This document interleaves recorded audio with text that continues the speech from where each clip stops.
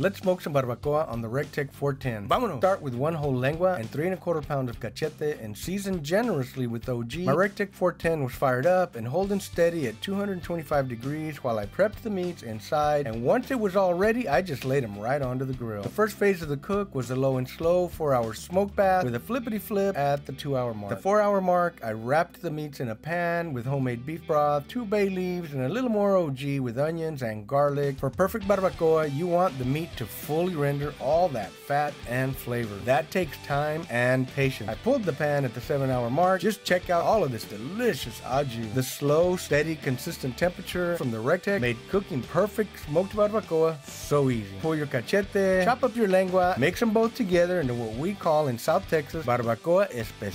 No hombre, shut up. This smoked barbacoa was so delicious. And if you try this recipe, you just might start smoking your barbacoa every single time. Boom!